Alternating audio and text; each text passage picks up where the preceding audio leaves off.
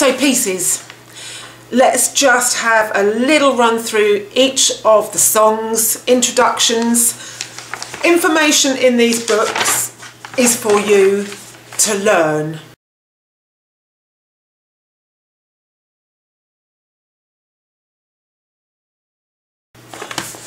Before each song, you have this introduction, tells you what the style of the song is, it gives you an overview, tells you about the style of music and the genre.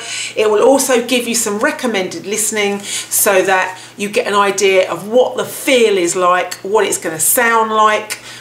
And hopefully this will enable you to tackle uh, styles of songs that might not be your first choice or your preference.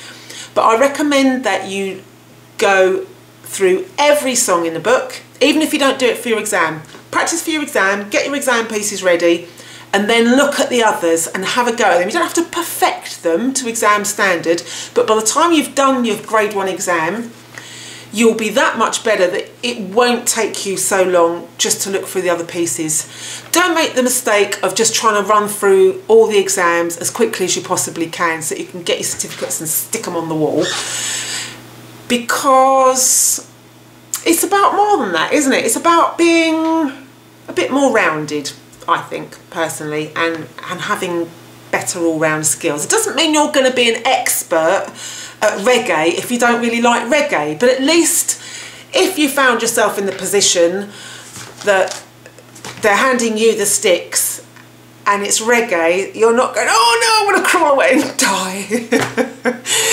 you can at least do something, okay? So each of the pieces one by one.